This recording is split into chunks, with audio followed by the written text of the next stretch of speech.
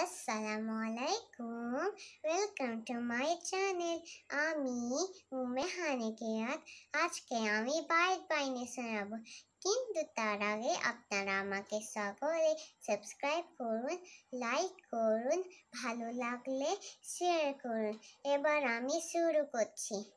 আউযু বিল্লাহি মিনাস শাইতানির রাজিম। বিসমিল্লাহির